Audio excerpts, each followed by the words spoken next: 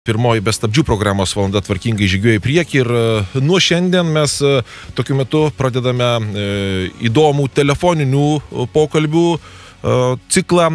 Kalbėsime apie vienintelį Lietuvoje moterų universitetą WOW University, kuris jau nuo naujųjų metų startuoja su dar vienu įdomiu kursu pavadinimu asmeninis prekės ženklas. Ir mesgi bandysime ir pakviesti, mielas mūsų klausytas moteris, šiame kurse dalyvauti ir taip pat bandysime pakalbinti didžiąją dalį dėstytojų, kurie ir pasakos jums apie asmeninį prekės ženklą. Pirmoji e, mano pašnekovė šiandien skaitmeninės komunikacijos ekspertė Julija Brodskė.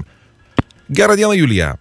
Labą dieną, Antanai. Tokia ilga buvo mano įžanga, dabar daugiau kalbėsite jūs, tai gal ir pradėkime nuo pat pradžių tuomet. Kasgi tai per dalykas yra asmeninis prekės ženklas? Skamba, kaip iš tikrųjų kalbėtume apie kažkokį produktą.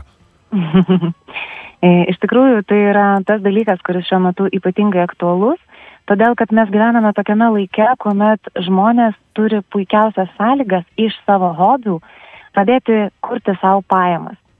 Ir e, tokiu būdu žmonės, kurie mėgsta amatus, kurie, tarkime, yra siuvėjos, fotografai, grafinio dizaino meistrai, visažistai, grožio meistrai, coacheriai netgi, psichoterapeutai ir panašiai, pradeda iš savo mylimos veiklos uh, uždirbti pinigus ir tokiu būdu susiduria su tuo klausimu, kad, aha, čia tikriausiai jau yra mano prekinis ženklas, tai, ką aš darau, ir jis tiesiog yra galbūt nelabai didelis, galbūt tai yra tik tai solo verslas, todėl mes jį vadiname asmeniniu prekės ženklu. Mhm. Čia yra pakankamai plačios ribos.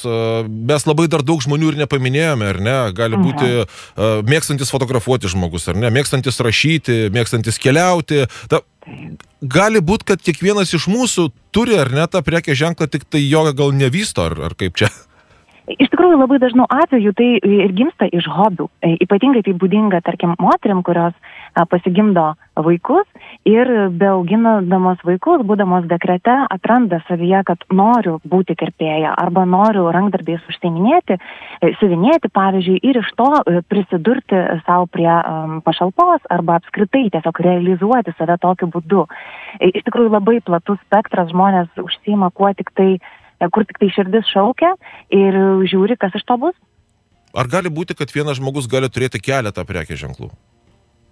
Gali būti, e, tikrai, aišku, reikia turėti omeny, kad tai yra didesnis iššūkis vystyti, jeigu tai yra nesusiję prekiniai ženklai vienas su kitu, yra sunkiau vystyti. Dažnu atveju tai būna, tarkim, galbūt panašus segmentas. Žmogus gali būti ir kirpėjas, ir galbūt nagų meistras, ir visažistas viename. Na, tenka tokių susitikti. Tai tokiu atveju, kuo, kuo tai yra patogu, kad dažnu atveju klientas būna tas pats arba kliento grupė mhm. ta pati. Mhm. Jūs e, šiame kurse turėsite porą paskaitų, ar ne? Viena pirmoji vadinsis tavo identiteto kūrimas ir komunikacija. Tai gal trumpai tada apie tai. Mhm. E, tai vad minėtieji asmenys, tarkim, kuomet nusprendžia, kad valio, bandysiu uždirbti pinigus iš savo mylimos veiklos, iš savo pašaukimo, e, dažnu atveju e, daro tokią klaidą, kad, na, jie pradeda intuityviai apie tai komunikuoti ir pasakoti kitiems žmonėms. Mhm. Maždaug susigalvoja pavadinimus, susigalvoja, koks bus vizualas, galbūt netgi logotipą susimeistrauja savo patys. Na ir prasideda ta tokia komunikacija socialiniuose tinkluose, kaip aš mėgstu sakyti, apčiopom ir intuityviai. Mhm. Tačiau galima tai daryti truputėlį strategiškiau ir su didesniu žinojimu ir gilesniu pajautimu ir suvokimu, kodėl darau bet kurį veiksmą ir kas iš to bus, kokiu galima tikėtis rezultatų. Tai va, asmeninio prekės ženklo identiteto gryninimasis ir yra tas etapas, kuomet mes labai aiškiai pereiname per procesą ir atsakome savo klausimus, apie ką mes esame, ar mes atstovaujame kažkokią labai aiškę nišą, nes nagų meistras yra labai platu. E, lygiai taip pat vienas svarbesnių identiteto klausimų yra, o kas yra mano klientas, e, koks jo yra amžius, kur jisai gyvena, kokios yra jo vertybės ir tikslai ir skausmo taškai bei motivacija, o tai leidžia e, jau formuoti komunikacinės žinutės ir parinkti vizualus ir išsirinkti savo kalbėjimo toną labai tikslingai ir aiškiai suprantant, kokie žmonės pas mane galiausiai grįž, ką aš prisikviesiu tokiu būdu link savęs. Kitų atveju gali būti, kad virsta tokia visa komunikacija tokia mišraine.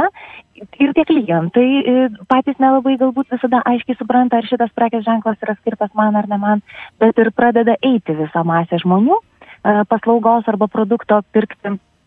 Ir, ir, ir pačiam meistrui gali būti, kad tai sudaro irgi tam tikrą iššūkį.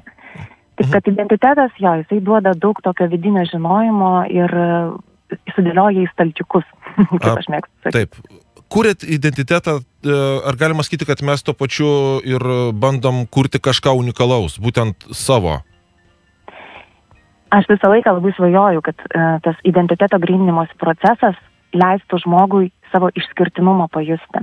Todėl, kad, uh, kaip ir minėjau, kadangi laikai labai palankus mums visiems iš savo hobių kurti uh, savo darbo vietas, Tačiau gaunasi, kad rinka prisipildo įvairiausių specialistų, kurie labai labai panašus, labai panašiai veikia, panašiai atrodo, jų klientai panašus ir jų komunikacija yra panašiai, nebeįmanoma atskirti, kas yra kas. Tai vad identiteto um, grininimuose procese nuostabu, jeigu pavyksta prieiti prie taško, kur aš pamatau, o koks yra mano išskirtinumas kuo aš esu kitoks, unikalus, savitas, pabandyti apčiopti tą tokį gryną, gryną autentiškumą, kuris padės išsiskirti iš kitų ir būti atpažįstamam rinkoje. Mhm. Kita paskaita čia turėtų būti absoliučiai visiems įdomi, nes mes kalbėsime, jūs kalbėsite apie du, du supermilžinus ir jų matyti ateitį. Facebookas ir Instagramas 2021-aisiais. Mhm. Ką sužinos e, studentės? Gal porą kažką paslapčių atskleiskit, ar bent jau krypti tada? Koks tas bus Facebookas ir Instagramas va jau po mėnesio?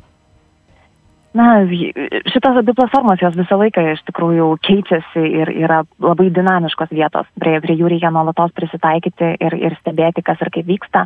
Iš tikrųjų, kuo toliau, tuo daugiau matome, kad dar vis aktualesnis ir aktualesnis tampa video turinys. Ir e, iš tikrųjų žmonės e, labiau stengiasi pasidaryti geresni meistrai e, šioje vietoje, išmokti filmuotis, išmokti pasakoti apie savo paslaugas ir produktus vaizdinę pagalbą.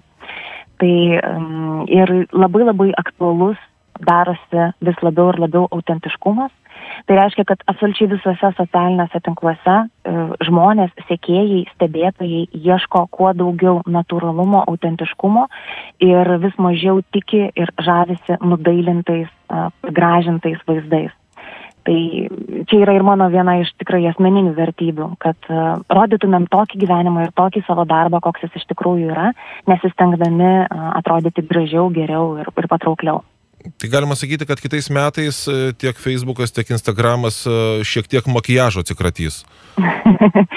galbūt neatsikratys, bet galbūt pradės rodyti tai real, realesnę tokią realybę, kaip iš tikrųjų yra. Ir tendencijos keičiasi iš tikrųjų e, ir grožės rytyje. Žmonės grįžta prie natūralumo. Natūralus toks etapas, natūrali stadija. Mhm. Aš dar klausytojams mūsų moteriams norėčiau priminti, jog e, kursas asmenis prekė ženklas iki kito pirmadienio ateinančio yra net su 50 e, procentų nuolaida, o jeigu dar įvesite ir kodą WOW kelyje, dar 10 procentų nuolaida prisidės ir jūs turėsite net 60 procentų nuolaidą absoliučiai fantastiškam dalykui. E, pakvieskime Juliją, dar neapsisprendusias damas, prisijungti prie WOW universiteto ir prie kurso asmenis prekė ženklas. Nesvarbu, ar dar tik tai kūrėte savo asmeninį prekės ženklą ir galvojate apie savo hobio įdarbinimą, ar jau veikiate galbūt keliarius metus toje srityje. Tačiau jeigu jaučiat, kad jūsų visa komunikacija ir veikimas yra apčiopom, intuityviai, nežinant, kokie yra komunikacijos tikslai, kaip kiekvieną tikslą galima būtų įgyvendinti skirtingom komunikaciniam priemonėm, Tai pasisenkite žinių, tai iš tikrųjų nuostabus e, kursas e, ir, ir bus ir namų darbų, ir, ir tokios kelionės per save ir per savo vidų. Mhm. Ačiū Juliu už pokalbį. Mhm. Dėkoju, geros dienos. Geros dienos. O aš dar sėki noriu priminti, jog visos e, reikalingos likusios informacijos reikėtų ieškotis, aišku, internete wowuniversity.org. Ir dar sėki primenu, jog e, iki pirmadienio imtinai asmenis prekės ženklas šis kursas yra net su 50 procentų nulaida, o jeigu dar uh, ten suvesite kodą wow kelyje, dar minus 10 procentų tikrai nusibrauks.